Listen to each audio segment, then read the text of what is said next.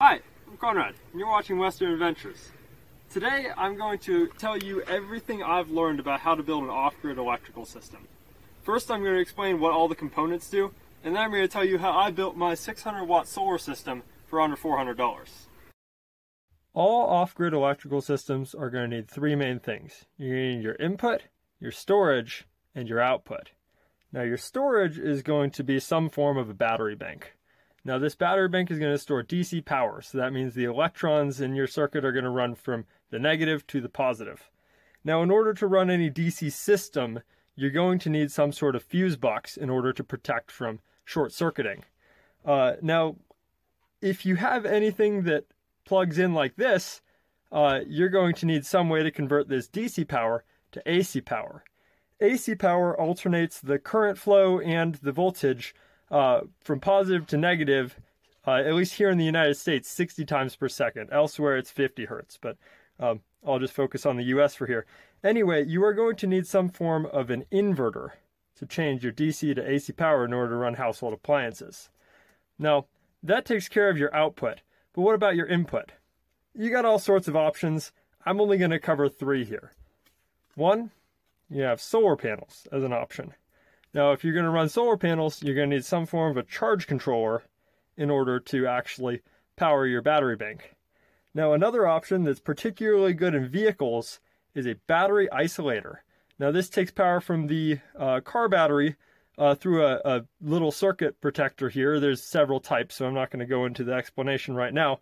But it basically charges your house battery bank off of your vehicle battery. And the last option is a generator, which is just a, an engine that runs an electricity generator and puts out AC power at the other end. Now, we've got a lot to cover here, so the first thing I'm going to talk about is the inverter. An inverter takes the DC power from your battery bank and turns it into AC power to run household appliances. There are two types of inverters a pure sine wave inverter and a modified sine wave inverter.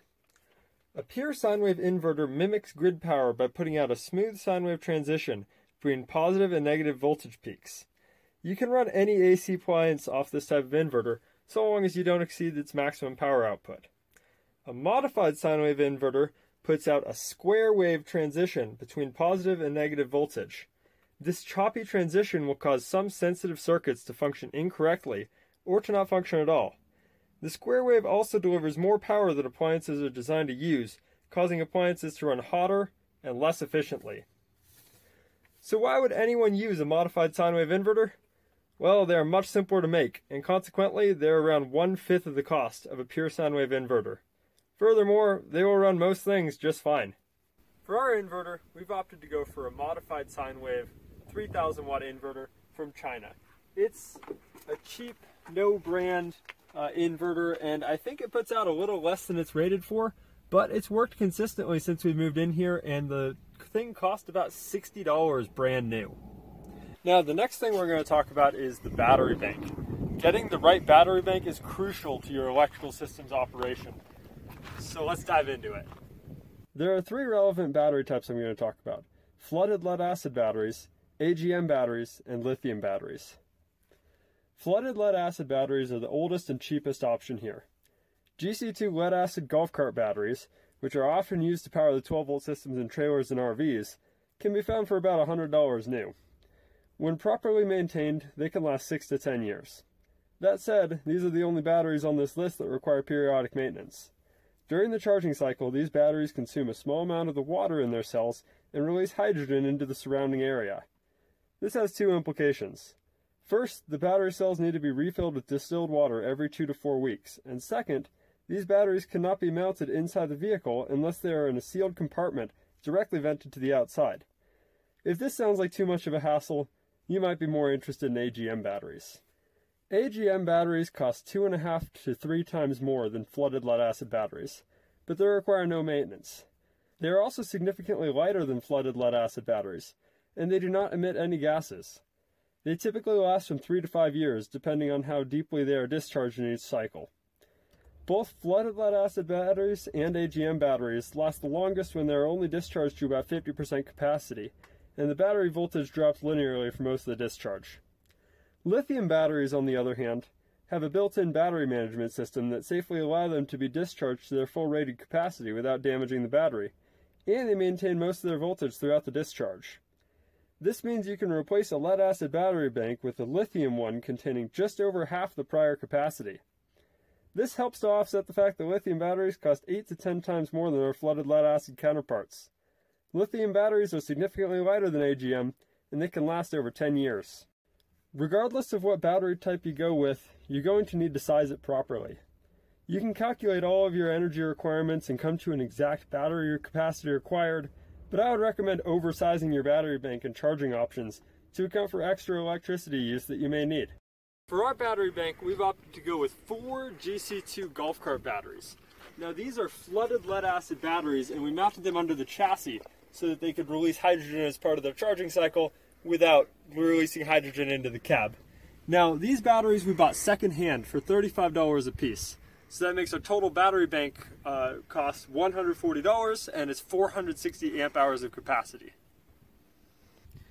The next thing we're going to talk about is the charging options. Now, the three that I'm going to talk about are the battery isolator, the generator, and the solar system.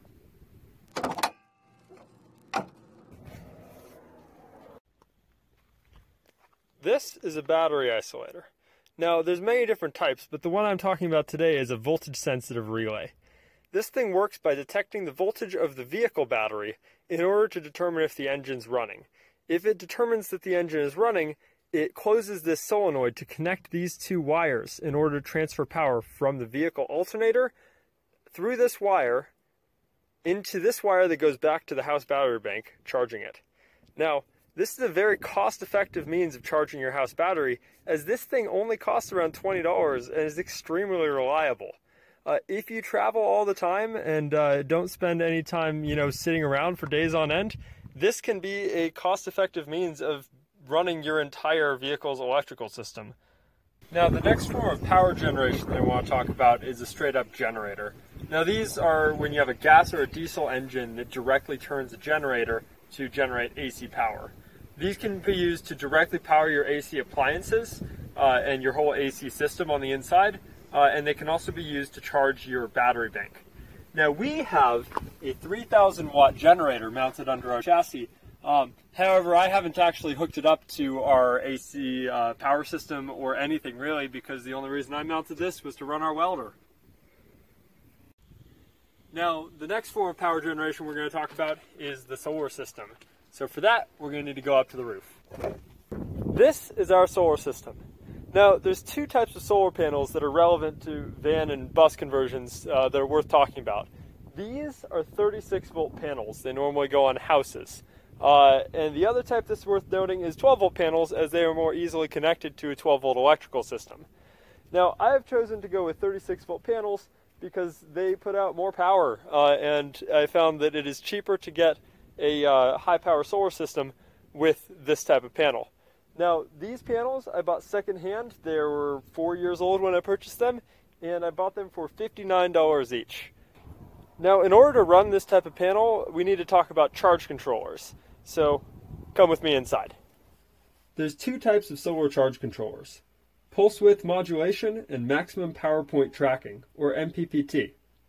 Pulse width modulation charge controllers are the cheaper option and they work great when the solar input voltage is just over the battery bank voltage. These charge controllers can be found new for under $50, but they have their limitations. When compared to MPPT charge controllers, they are inefficient at stepping down the input voltage, and they don't work as well in cloudy weather or in partial shade. MPPT charge controllers work like an adjustable DC to DC step down transformer. They sense the input voltage and efficiently drop it to the required charge voltage, adjusting at set intervals constantly. These controllers allow multiple panels to be hooked up in series as long as they don't exceed the maximum input voltage. They are more expensive than pulse width modulation, but in the right application can make the whole solar system cheaper. There's two things to consider when planning your solar system battery bank voltage and input solar power.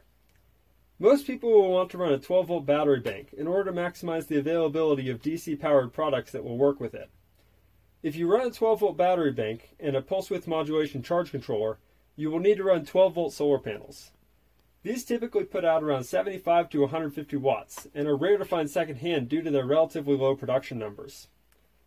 Given the fact that you'll need to run new solar panels with a pulse width modulation controller, this is only the most cost effective system under around 250 watts.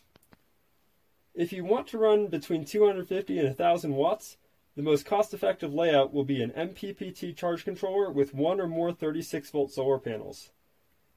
36 volt solar panels are mass produced for use on houses and buildings, and consequently can be found used for $100 or less. They typically put out around 250 to 500 watts and last over 20 years. Now, at this point, we need to look at how charge controllers are sized. MPPT charge controllers are designed for a maximum input voltage and a maximum output current. The input voltage limit will restrict how many panels you can connect in series, while the output current limit will restrict the total power capability of your system. If you want to run more than 1000 watts of solar power, you will save money on your charge controller by running a higher voltage battery bank. This is because power is equal to the current times the voltage. If you increase the voltage without changing the current, the power will increase equally. This means that a charge controller can run four times more power with a 48 volt battery bank than with a 12 volt one. Considering this, it makes sense why most off grid cabins run 48 volt or higher battery banks, but this isn't the whole picture. While running a higher battery voltage will save money on the charge controller, it will limit the compatibility of DC appliances and therefore require a larger and more expensive inverter to use effectively. For our system, I've opted to go with a Renogy Rover 40 amp MPPT charge controller. This I bought secondhand on Craigslist for $50 and it has been working fantastically ever since I installed it. So that concludes our electrical system video. Now, I know there's a whole lot of information to unpack there, so I want to just break down what we did for our system one last time in a concise manner. So, our battery bank, we paid $140 for four GC2 batteries. Our charge controller, we paid $50 for, so that brings the total up to 190. Our solar panels, we paid 120 for the two of them, so added to 190, that's uh, 210, 310 uh, And our inverter, we paid $75 for. So that brings the total up to 395 if I'm not mistaken. 385 Just under $400 for a 600 watt solar system.